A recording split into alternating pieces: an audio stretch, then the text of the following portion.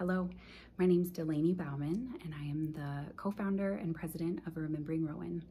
In August of 2017, my husband and I were anxiously awaiting the arrival of our third child, a little girl named Rowan. And we were so excited that she was a girl as her and her older sister Lucy would be a short 17 months apart.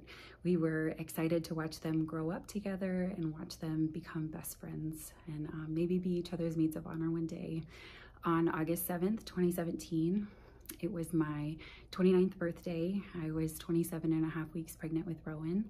And after several hours of not feeling her move that morning, my husband and I checked in with our midwife and our lives and our hearts were changed as we watched Rowan's motionless heart on an ultrasound screen that day.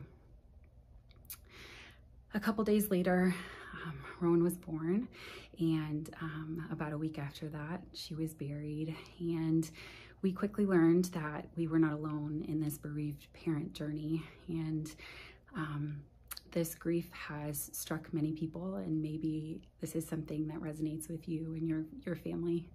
Um, one in four pregnancies ends in miscarriage and one in 160 ends in stillbirth. So the statistics around pregnancy loss are a lot more um, significant than, than what one might consider. It wasn't long after Rowan's death that I felt the tug on my heart to somehow serve this community of bereaved parents in Northeast Indiana. And Mark and I were determined to ensure that um, the death of Rowan wasn't all going to be bad. And one of the recurring themes that we heard from this bereaved parent community was how burdensome the funeral costs and the medical expenses were for them after the death of their baby. And parents expect that bringing a baby into the world is going to be expensive, but the expenses of a headstone and a casket are far different than diapers and wipes and formula. Additionally, we heard stories of families opting to cremate their baby as opposed to burying their baby because it was more affordable. We also heard um, just stories of families paying, making month, monthly payments on the medical bills that they incurred for delivering their baby. And that, that just served as one monthly reminder of the baby that you didn't get to bring home from the hospital.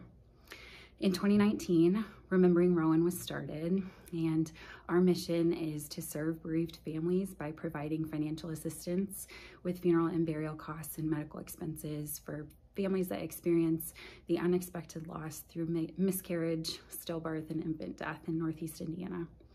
To date, we have been able to serve over 115 families in Northeast Indiana um, and provided over $70,000 in assistance with medical bills and funeral expenses. Um, our staff is 100% volunteer and our board of directors covers all of our administrative and fundraising costs. So every penny of outside donation goes directly to serving bereaved families in our community. Um, the need has never been greater as we've seen a significant increase in the number of pregnancy losses uh, since COVID started. So we so appreciate your consideration and um, we are just honored to serve in this space with families that um, are truly stricken with one of the deepest pains that life can offer. So thank you.